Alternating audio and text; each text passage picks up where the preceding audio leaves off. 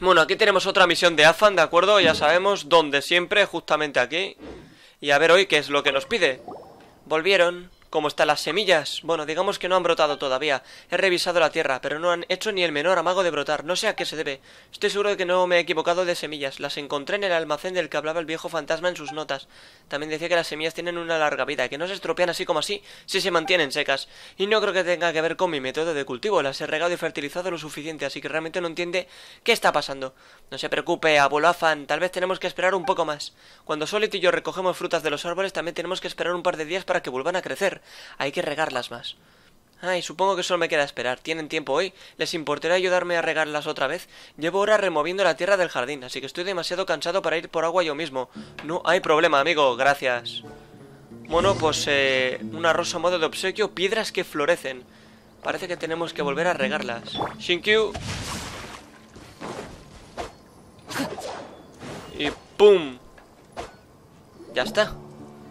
Tengo que seguir regando y fertilizando, aunque no dé resultado, ya no sé qué hacer. Después de tantos años por fin me he decidido a hacer algo, y resulta que tampoco puedo hacerlo, viejo fantasma. Siento haberte defraudado, abuelo Afan. Hora de irse a casa, niños. Bueno, parece que lo que es la misión ya está, o sea, es una chorrada por lo visto esta vez. Piedras que florecen superada. Y ahí veis las recompensas bien bonitas. Yo por si acaso vuelvo a hablar con él. ¿Quién es Shafakat? ¿No querían saber quién era el viejo fantasma? Pues obviamente ese no era su verdadero nombre. Los mayores lo llamaban Shafakat. Se marchó de la ciudad de Sumeru cuando era joven y vino a la aldea, construyó su casa aquí y aquí se quedó durante décadas. Yo no lo conocí de joven, pero la gente decía que solía adorar a los niños. Cultivó y plantó flores y árboles en la entrada de su casa. A los niños les encantaba pedir dátiles, escuchar historias. Y era un señor mayor cuando yo lo conocí.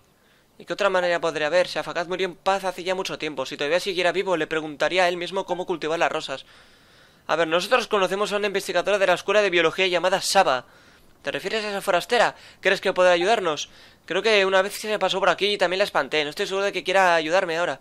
Merece la pena intentarlo, eres un buen chico incluso. Si no consigues ayuda, te agradezco que lo intentes.